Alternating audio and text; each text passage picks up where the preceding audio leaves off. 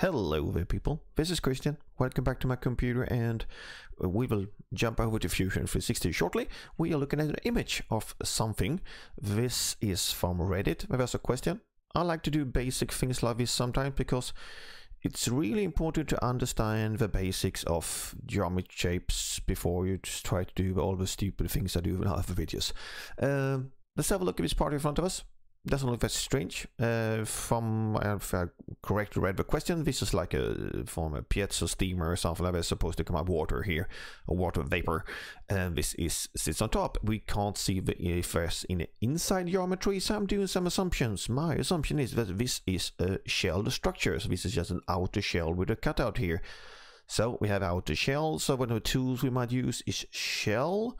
So we're gonna start there. Um, let's have a look at the basic shape we have in front of us. We have a symmetry around an axis. Shall we draw an axis? We can do it green. So looking at this, there should be a center axis going down through. This is basically a cylinder we have like a profile. Let's go to red. Uh, we, we could do this with a chamfer or something like that, but basically we have like a profile where it's a flat top, we have an angle corner, goes down, and when we close the profile again, and we can use revolve because we have symmetry around an axis, and the first tool we should think of is revolve. I'm gonna remove these things now. Uh, the second thing we have, we have this cutout here. We have a look at this, we can see that the cutout here is following the curvature of our cylinder. That means that this uh, cutout is also symmetric around our earlier center axis. And I suspect if we have a look at the edge, you can see it's not like a full fillet. There's a short straight and then there's a fillet. I suspect that these edges here are uh, concentric or aligned to the center line. So these are just basically an angle. And let's remove all the stuff I just draw. I shouldn't be doing small lines because they are hard to move. Anyway, this is like the basic shape. So we're going to try to recreate this. And when we start recreating things, nothing to do, start by removing all fillets. So I'm going to forget about the corner fillets here. Line. Uh, these four I will not do that. And we can see that it looks like there's a small fillet. So let's forget about them for now. I'm going to go over to Fusion. Move things around like that. And first things to do, of course, I have always saved file. Always start by saving. If you're going to use this in some other type of assembly, start by creating a component. I will not do that. I will do this as a one-off now. So will start by creating a sketch.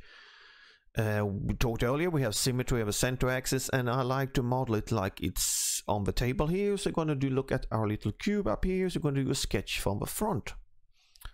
Going to do some lines. So we're going to do the basic outer shape. We have like the center here. So from origin, we're going to start with the center. I'm going to go straight up.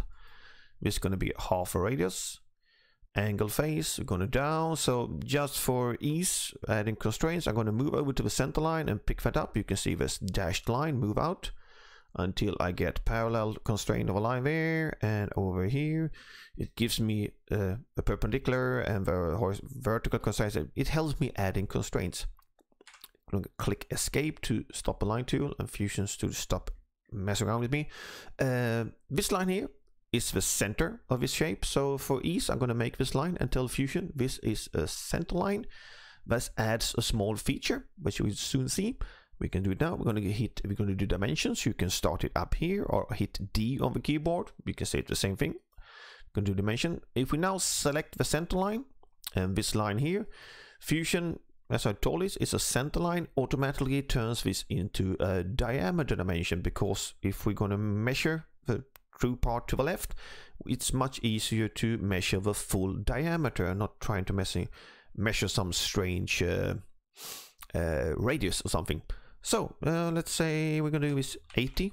That's for the full diameter. I have auto scale of sketches activated. You can set that in your preferences. That means the full sketch is getting scaled. Uh, another easier dimension, of course, is the height here. Let's do that 40 we can measure the height on the outside face here. So this here is supposed to be, yeah, let's do it 30. no, strange signs like that. And we could also measure the diameter of this here. So we're going to dimension the diameter here. We could do that uh, 50 so we get a bit of an angle of this face. So we don't really care about the angles of the face. We can get this shape by simply measuring normal distances. No strange uh, uh, angles or stuff. Finish sketch. We're gonna find the revolve tool that's up here. If you can't find things, hit S on the keyboard, start typing the feature looking for revolve. And it's the blue one for solid. So we'll select that. Uh, I've earlier done playing around with things here. So I'm going to switch up type here, make sure it's full. So I get the full revolve of a body. Hit OK. Going to open up my browser so I can see the things. We have a fully defined sketch, we have a lock on and things like that. Uh, I have turned off auto hide on my sketches, so I will hide this sketch now. I'm not needed for now. Uh, before I do the shell, if you're doing a shell command, I prefer to do the fillets before because then the fillets will propagate to the inside of the shape if that's needed. So F on the keyboard for fillets. I'm gonna apply fillets to these two edges here. Two millimeters, maybe a bit too much. Uh, let's say two millimeters. Hit OK. Let's find the shell command. It's up here, or S on the keyboard. Search for shell. Turn around the part. We can look at um, underside which is going to open up so let's do should we do one millimeter no sorry what said one millimeter thick or maybe 1.5 just for the fun of it so we have a 1.5 thick shell hit ok we now have like our basic shape of things gonna go back to the home view uh, now we need a little cutout here so we're going to create a new sketch once again we create it from the front so I'm gonna look is this plane here now we need to get this body into the sketch. Gonna hit S on the keyboard because uh, it's a, it's up here and create and stuff like that. I like S on the keyboard and start typing in intersect. I want to have the intersection of a body through the sketch plane. So I'm going to click intersect, select body, selection field. I can do geometry or body. So I'm going to do the body, click the body, hit OK. And for visibility, I'm going to hide the body because it gets a bit confusing there's a lot of things going on. I really, the slot here is only one side. So I don't need the geometry over here. So I'm going to just select it and hit delete on the keyboard. Uh, from left to right selection, you need to, you see, it only selects for points. If I'm doing selection from right to left, it selects everything it touches. And in this case, I, I only read these two lines here. I need the two sides of his face here. So I will do a window like this. Hit delete. Do the same thing uh, let's do it here like that.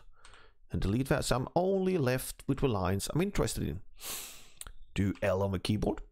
We're going to do a line. So this needs to be perpendicular. We can see the perpendicular constraints pops up we can do here and the easiest dimension of course is the width of the slot here so you can D on the keyboard select the two lines And let's do that 8 millimeters. Uh, the next dimension can be a bit harder. We can always go back and change dimension. So I'm gonna dimension it simply between these two. Like I um, suppose that's 2.5 just for the fun of it. Remember, we can always go back and change dimensions. That's the whole idea of parametric modeling. Sorry for my Saturday morning voice. Uh, activate body. There's our sketch. Once again, this uh, cutout, as we talked earlier, are symmetric around the center axis. So we're going to S on the keyboard and find the revolve command again. Revolve. It has already selected the profiles for us because I only had one sketch open. It says one closed profile. Yeah, you want to revolve that? Yes, please. Axis, we can select the axis, or if we are lazy, we can basically select any round edge out here. You see it highlights the, uh, the faces of a part. So if I select this face, it understands what I want to do. But now we don't want to do a full revolve. We want to do an angle revolve. So I have turned this, uh, normally you start with one side, you can do it one-sided, that's no problem. If you want to keep things symmetric, you can switch it over to symmetric, but you can see switching from one side to symmetric it becomes uh, twice as wide because the angle you're given here is only the angle in one direction. So doing symmetric like this with 30 degrees, this opening will cover 60 degrees. I hit OK. Gonna have a look at the shape. So we can see if we compare these two, I would like this edge here to be further down. So what I can do now, I can go in and edit the sketch, one possibility, or I still have a sketch visible, so I can right click, say show dimensions, and the dimensions pop up here. So without the necessity to go back and edit the sketch, I can directly edit the, uh, the dimension here. So let's change that to 10 millimeters. Is that more what I want? Yeah, that's close to what one. So I'm gonna hide the sketch. The last thing, of course, we're going to round off the corners. So F on the keyboard once again to find the fillet command. Select the little edges. There's four of them. You can do half of them and mirror and stuff like that. It's, it's like only four edges. It's a bit easier to select edges because, of course, you go back, you have one fillet command. You can find all the edges. Three millimeter fillet. Yeah, something like. Gonna hit OK. And have a look at my model. So this is how I would model a shape like this. Look at it, I think, uh, I think I like to get this opening wider. We can do two ways. We can edit the revolve command.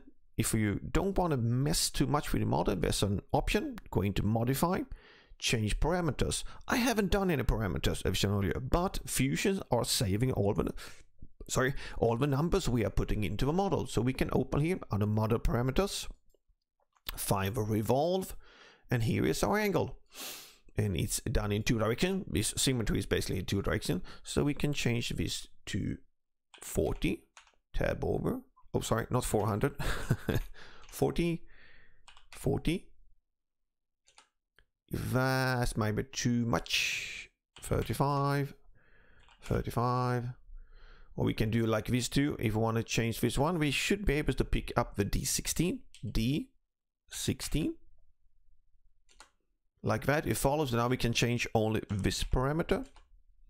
30 like earlier but I think 35 is better for the design in this case. So you can play around with your uh, parameters directly. They are always saved in the under the modify change parameters you can find all the dimensions you've been putting into the model if you are working with the timeline on which you should always do so that were some Saturday small basic things hope it be some parts of this work and can be useful for you. Hope to see you around. See you. Goodbye. Hi.